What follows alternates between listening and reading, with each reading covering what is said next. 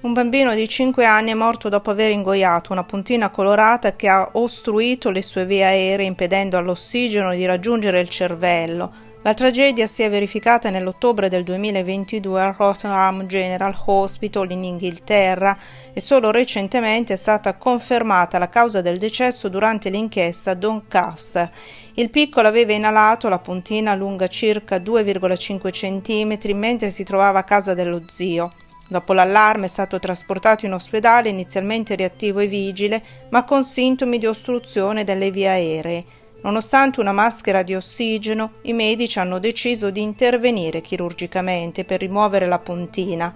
Tuttavia durante l'operazione la puntina era rivolta verso l'alto, diventando inafferrabile con il forcipe. Le vie aeree del bambino si sono ostruite, causando un arresto cardiaco. Due giorni dopo è stato dichiarato il decesso a causa di una grave perdita di ossigeno al cervello.